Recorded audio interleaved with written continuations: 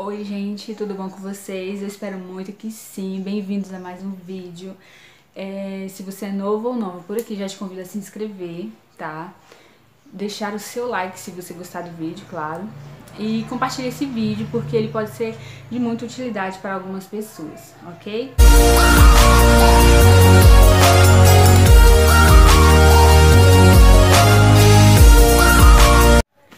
Eu vou estar falando é, a respeito dos benefícios, dos direitos da mulher com câncer, tá? Eu vou contar as minhas, as minhas duas experiências e aí, se você é, se interessar em saber das outras, você deixa aqui nos comentários, tá? Que eu volto com outro vídeo gravando para vocês é, referente às dúvidas das outras questões que eu estarei é, citando aqui. Então, eu vou estar falando para vocês é, os benefícios, os direitos e depois eu falo a minha experiência e como, como acontece, né? Tudo mais. Porque não é porque é, é, vamos supor, é lei, só que assim, tem pessoas que são beneficiadas e tem pessoas que não. O porquê, tá? É, conheço os direitos que as mulheres com câncer de mama têm garantidos. É, auxílio doença, aposentadoria por invalidez, saque do FGTS, PIS, PASEP, amparo assistencial ao idoso e ao deficiente, isenção de impostos de renda na aposentadoria, quitação do financiamento da casa própria, é, transporte coletivo gratuito e compra de veículos e PVA, tá? Agora eu vou estar falando referente a, ao meu benefício, os benefícios que eu tive, tá?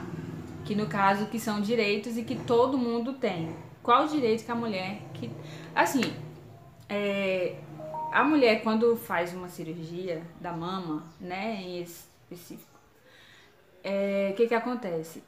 Quando é retirada toda a mama, né, a, ou uma ou as duas, a mulher tem garantido o silicone. Tem gente que fala, nossa, mas aí é, você operou e aí você vai ter que arcar com os gastos do silicone. Não.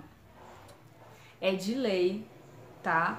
A mulher conseguir pelo SUS o silicone, tá bom? Se for um, consegue um, se for dois, consegue os dois, mas é gratuito. É, no meu caso, eu fiz a cirurgia pelo hospital, não paguei nada o silicone foi pelo hospital, também não paguei nada. É... Aí tem as a reparação, né? Alguma coisa que fica, tudo eles fazem e não cobram nada. Então, sim, é de graça. Referente ao que eu falei aqui, que foi sobre o auxílio emergencial, o que que acontece? Tem gente que fala: "Nossa, você conseguiu e eu não consegui", né? Ou você conseguiu temporariamente e a outra conseguiu é, definitivamente. No meu caso, eu consegui temporariamente, porque no meu caso eu fiz é, a mastectomia, que é a retirada total da mama. E nesse caso, é, sim, eu coloquei o silicone, porém a, a, a, axila não foi esvaziada totalmente. Então o que, que acontece? Eu estarei apta ao trabalho. No caso, não na área que eu atuava, que era no salão de cabeleireira e eu mexia com escova, com secador. Então, assim, nessa área eu não posso mais, porque eu sinto uma um desconforto, digamos assim, um incômodo, né, no, no, no, braço esquerdo, que é o que eu mais esforçava. Então, nessa área eu não, eu não mexo. Mas assim, tô liberada para trabalhar em loja, trabalhar em qualquer coisa que eu não preciso esforçar tanto o braço. Beleza? Porém, é, como eu estava dizendo, eu estava trabalhando é, eu era autônoma na época, né, que eu descobri o câncer. Eu era autônoma, eu estava em dia com o INSS, tá? E tudo isso conta, tá, gente? Então, assim, se você trabalha de carteira assinada, você está em dias com o INSS, né? Se você é autônomo e paga todo mês certinho o INSS, você também tem direito. Então, o que que acontece? Eu consegui encostar todas as vezes que eu fiz a cirurgia, tá? Eu passei por cinco cirurgias e todas as vezes eu encostei. Aí o que, que acontece? Eu entrei com a advogada para tentar, é, no caso, me encostar até o término do tratamento, que seria agora no final, é, no, no meio do ano, se for da permissão de Deus, né? Se assim for a permissão do Senhor. É, o que que acontece? É, então, a advogada não conseguiu. Mas eu não tenho do que reclamar, porque todas as vezes que eu fiz a cirurgia, que eu não pude trabalhar, eu consegui ficar encostada. Às vezes era dois anos, às vezes era um ano e meio, entendeu? A médica determinava um, uma, um tempo que eu não poderia estar trabalhando, e aí eu passava pelo INSS, e aí eles me, me passavam, né? Então, eu consegui porque eu estava em dias com o INSS. Só que teve amigas minhas que tiveram câncer também, porém elas não não eram autônomas, não trabalhavam de carteira assinada e não conseguiram se aposentar e nem encostar. Uma não pagava o INSS e não conseguiu encostar. E a outra também, ela não, ela não trabalhava é, para ninguém e também não, é assim, ela trabalhava para ela, porém não pagava o INSS e também não conseguiu.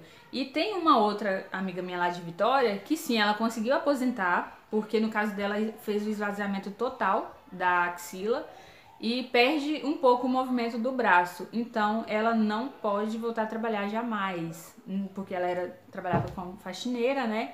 E não pode é, ficar fazendo certos é, tipos de esforços, né?